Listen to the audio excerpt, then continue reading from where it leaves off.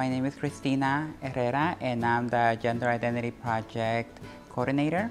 I moved from uh, LA back in 1985.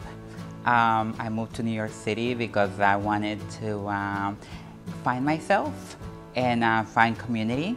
And as I um, started to get used to life uh, in this wonderful city, I um, came to know about the LGBT Center.